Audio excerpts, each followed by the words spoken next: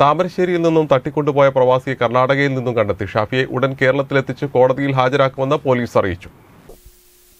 താമരശ്ശേരിയിൽ നിന്നും ഗുണ്ടാസംഘം തട്ടിക്കൊണ്ടുപോയ പ്രവാസിയെ കർണാടകയിൽ നിന്നാണ് അന്വേഷണ സംഘം ഇപ്പോൾ കണ്ടെത്തിയിരിക്കുന്നത്. ഏറെ താമസിയാതെ അന്വേഷണ സംഘം ഷാഫിയെ കേരളത്തിലെത്തിച്ച് കോടതിയിൽ ഹാജരാക്കും. തട്ടിക്കൊണ്ടുപോയ സംഭവത്തിൽ കസ്റ്റഡിയിലുള്ള നാലുപേരുടെ അറസ്റ്റ് നേരത്തെ രേഖപ്പെടുത്തിയിരുന്നു.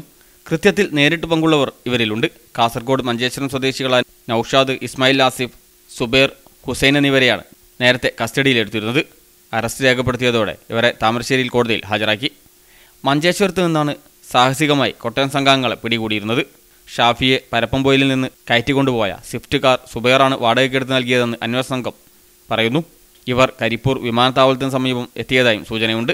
സംഘം ഉപയോഗിച്ച മറ്റൊരു കാർ കഴിഞ്ഞ ദിവസം കാസർഗോഡ് ചെർക്കളയിൽ വർക്ക്ഷോപ്പിൽ നിന്ന് കണ്ടെത്തിയിരുന്നു. ഈ കാർ വാടകയ്ക്കെടുത്ത് കൊട്ടേഷൻ സംഘത്തിന് കൈമാറിയത് കാസർഗോഡ് സ്വദേശി ഹുസൈനാണ്. News bureau Omassery.